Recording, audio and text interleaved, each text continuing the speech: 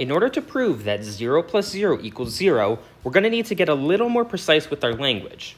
For that, we're going to be using the idea of a field. So here we have our statement.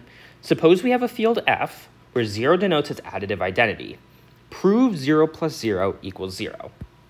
In order to do this, we're going to have to know exactly what the additive identity of a field is. And I'll state it for us right now.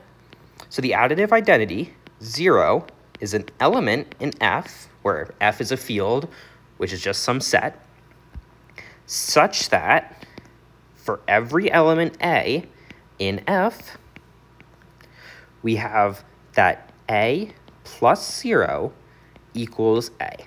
So that's just a definition. That's the definition of what 0 means. So with this definition, we're ready to begin our proof. And we'll say that 0 plus A equals A by definition. By definition of the additive identity.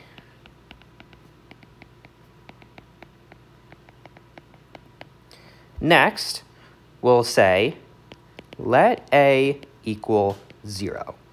And we can do this since A is in F and 0 is in F. So A is an element of our field, and 0 is also an element of our field.